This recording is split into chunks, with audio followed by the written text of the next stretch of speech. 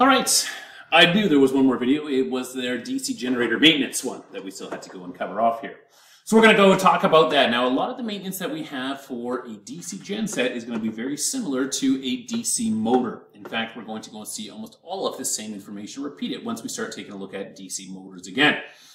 Because really, they are the same machine. The big difference between a genset and a motor being that usually our gensets are going to go and have open end bells and bearings so we can get ventilation, we can access stuff, whereas our motors are usually going to be sealed because they're going to be out in the nitty gritty dirty of industry itself. But they're going to be able to be broken down, no matter whether we're looking at a motor or a genset, they're going to be able to be broken down to two main uh, categories, electrical faults or mechanical faults. Let's focus on the gensets and on those two faults. Generally speaking, we've only got three types of faults that could be an open, where I don't have complete current going through. This could be an open inside of a field. If I've got an open field, I'm not going to go and develop flux. If I don't develop flux, I'm not going to be able to develop voltage. It could be a short circuit where I'm going to go and have too much current that is going to be ripping around from component to component. It could be a ground, which is going to go and prevent us from building voltage, or it could be incorrect connections that we are going to go and have. If it does not go and operate the way that we need it to, we're going to go and check for a bunch of these different things. And usually it's going to involve us uh, taking some aspects of the machine itself actually apart. So in a lot of cases, what we're going to go and have on our gen sets is that the alternator is going to go and get connected over to the engine. We kind of had a, a poorly drawn uh, engine here in the previous one that I had done. That's my engine, and then here's my actual generator. The generator itself is usually going to go and have the commutator and the brushes that are going to be at this end. And in a lot of cases, there's going to be plates that we can take off on the side. We don't want to necessarily have to remove the end bells and bearings because then we've got to drift them off the shaft and a bunch of other extra work. It's much easier, much better for us if we can just open it up and access everything either from the sides or from, sometimes we're going to go have end plate uh, holes on these things as well. A couple things we're going to do. We're going to go and lock out all of our power.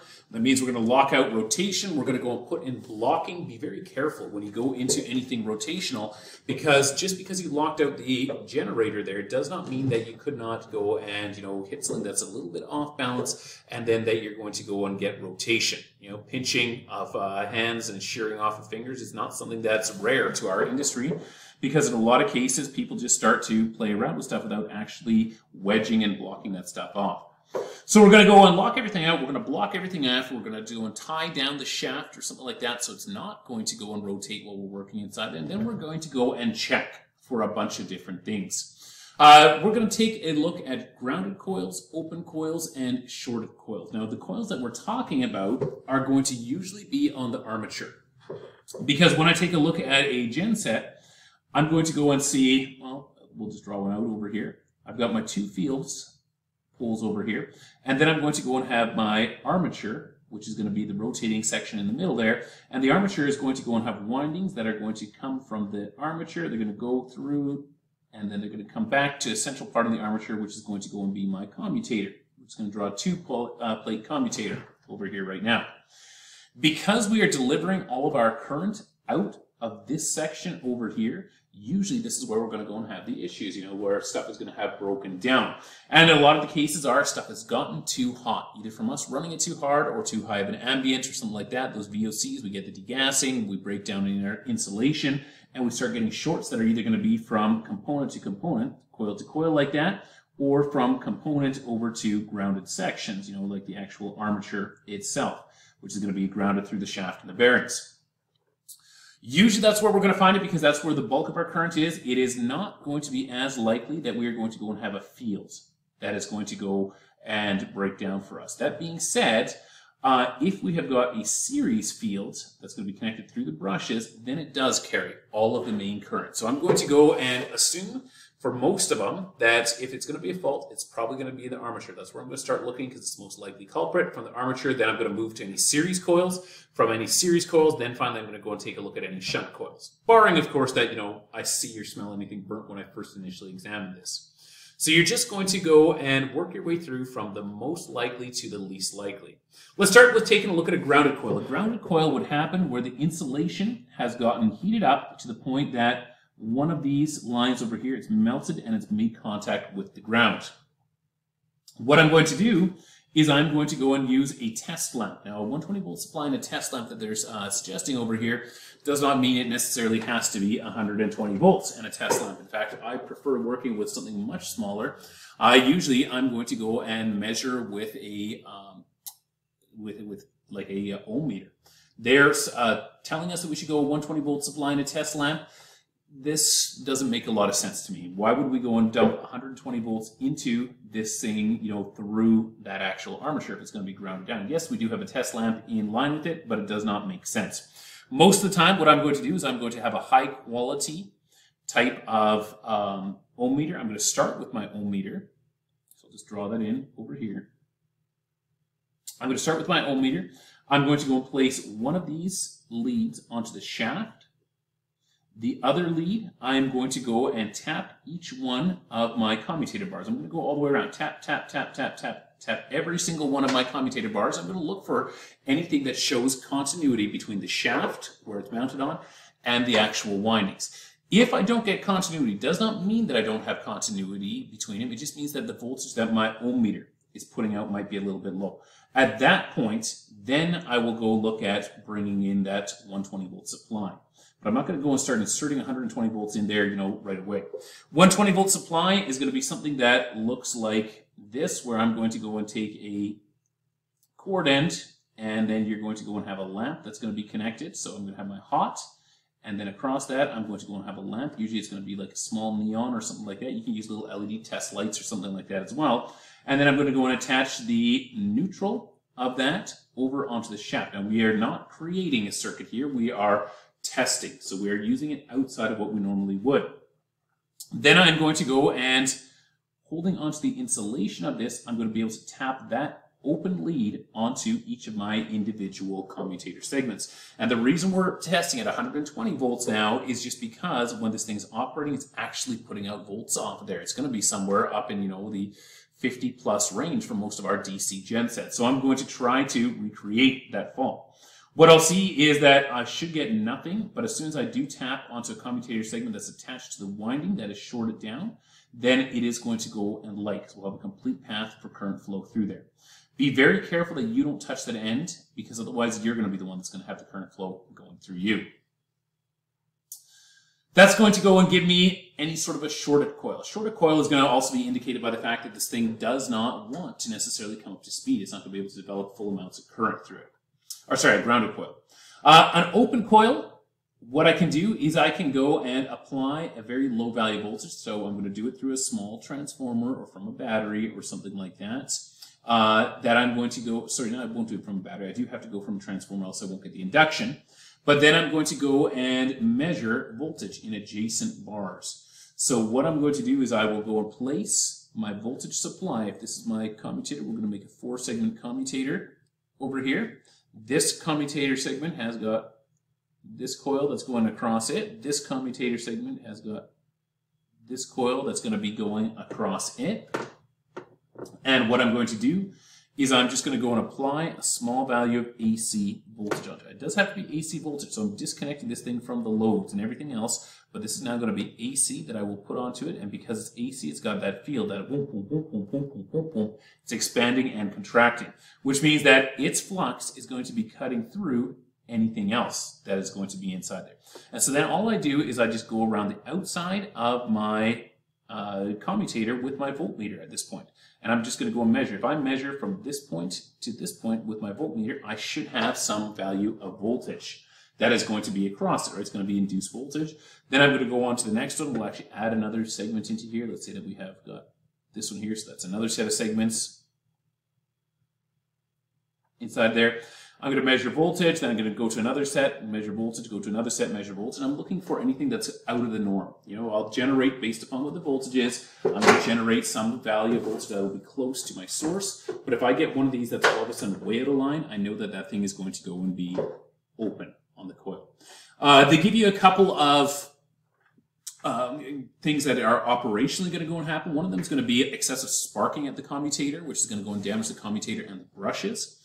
And the other one is failure to come up to speed if it was a motor. Now, for a generator, we're going to be driving that speed, uh, that thing. So rather than it being a failure to come up to speed, it's going to be a failure to come up to full rated voltage off of it.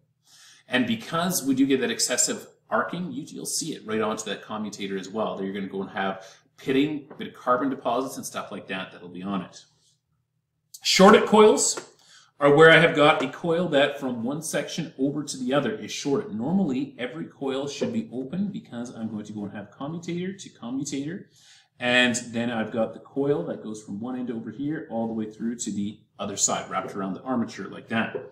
If that coil is shorted, then what I'm going to get is a complete path for current flow. Right now, across this over here, we see no complete path for current flow. But if I've got a bad shorted coil, and just do this one here. We'll say that this is my shorted coil. So I've got my coil there going across, and it's developed a short circuit from component to component through that.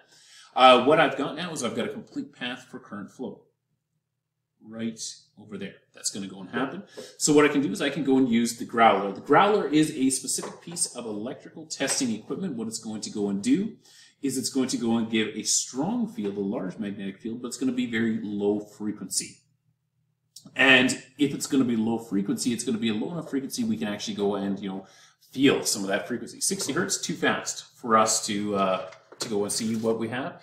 What we'll do is we take this thing, we put it onto the growler. The growler starts to go and create large magnetic fields that flux this. Now, if I've got open circuits, I'm going to generate voltage. Remember, EG is equal to BLV. I'm going to generate values of voltage, but I'm not going to have any current flow because there's no complete path. If I've got this shorted one, I'm going to go and have current path that's going to go over here.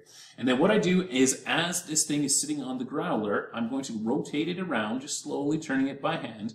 And then I'm going to go and have some sort of a hard type of metal. I want something that's highly retentive. I don't want to have anything that's going to be super soft because I want to be able to feel the attraction and repulsion. And when I get over top of whatever the shorted coil is, there'll be current going through it. And so I'm going to go start to go and feel it. Uh, it's going to vibrate. It's going to kind of bounce around. You feel this underneath your fingers as you go over top of it. That would tell you that that's the shorted one.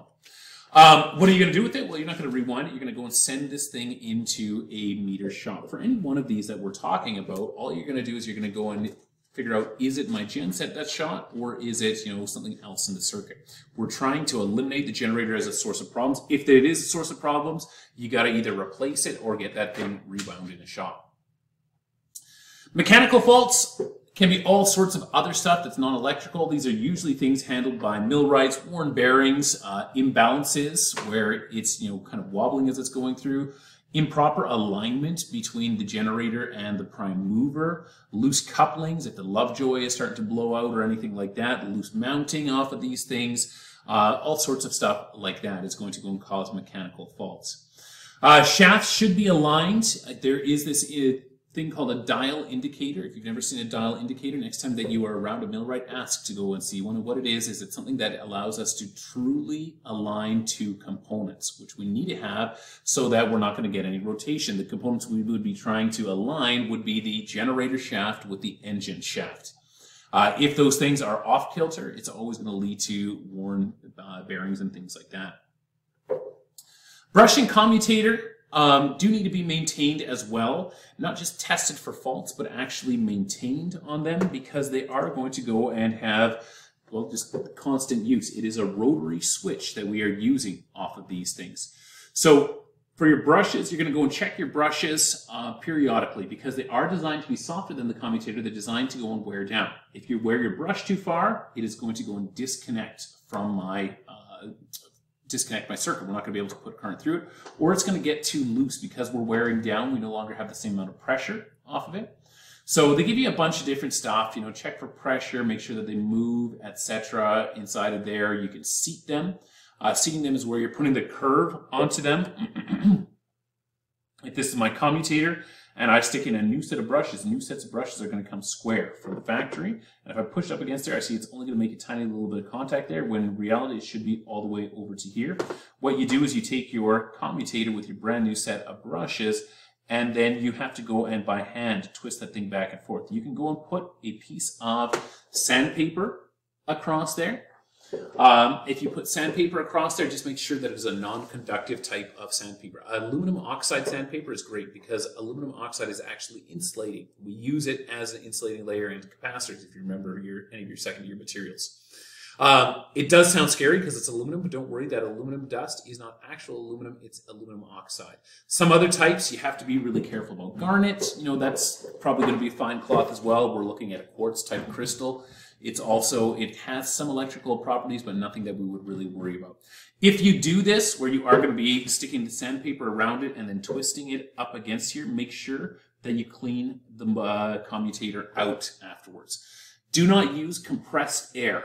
Okay, the the maintenance procedure, although I know that lots of you love you know to use compressed air to clean stuff, is vacuum first. We want to try and take anything that's inside out first. The big loose stuff, we will vacuum it all out. Once we have got it all vacuumed out, then what we will do is we will blow down the rest of the small stuff. But if you start by using compressed air, what you end up doing is you end up driving the components further back and into the machine, which is going to go and result in more wear off of your machine. Okay, so for your commutator, you're just going to go and uh, check for similar type of stuff. Really, it's going to be wear. Once again, the brushes are the disposable part. The commutator is supposed to be non-disposable, so you want to be replacing your brushes frequently. Commutator should be kind of a dark-ish sort of color. Uh, glossy dark brown, maybe even tending a little bit towards a slightly blackish red sort of color. If it's too bright, what that means is that your brushes are too hard. Okay, it means that the, the type of brushes you select are too hard and they're actually starting to go and remove that layer. There's going to be a little layer of film on the outside of that commutator and it's caused by a uh, combination of both humidity and electrical ozone and it forms a really hard barrier that prevents us from breaking down the commutator. But too hard of a brush, you're basically going to go and be sanding that off. If you have got too thick of a coating of uh, that, it's called the patina, then it's also going to go and break down the amount of um, conduction that you're going to go and get out of it. You're going to drop excessive volts across there, and it's also going to lead to excessive heat. If you do have too much patina on that thing, just go and uh, once again, try and clean this thing off. You're going to have to actually sand it off with very fine types of sandpaper. Aluminum oxide, once again, is going to be fine, and in a lot of cases, your garnet papers as well, but you want to make sure that it is a super fine type of grain. And when you finish that, that you go and vacuum rather than just go and blow all these uh, components out. Okay. Um, the rest of it over here, this little chart that they show over here, wrong connection to interpoles, uh, that doesn't happen by accident. That means somebody's been bunking around with it. You know, make sure they're connected correctly. Poor brush contact, you're going to reseat them. Warner incorrect, you're going to replace them. Improper brush tension, that would be where we've got that adjustable spring. Just retension it. High mica on the commutator is one where you might have to go and spend a little bit more time on. The commutator will wear down over time. Remember, it's those individual bars that are going to be separated by mica. And the mica is still a mineral, and it's not that it's super hard, but it's hard enough. So what can happen is that over time, this mica starts to sit higher than the actual components. What it should look like is that you've got commutator segment, then there's going to be a little dip in between, then commutator segment. And this little dip is where the mica is. If you start to go and have mica that's sitting flush with that, what you're going to do is you're just going to go and take a knife blade and you're going to kind of clear along both sides of that to go and do what they call undercutting on that one. For the rest, um, yeah, if it's dirty, clean this thing off. If you're going to clean stuff, vacuum first before you end up cleaning that thing out with compressed air. All right, that is it for our generator maintenance.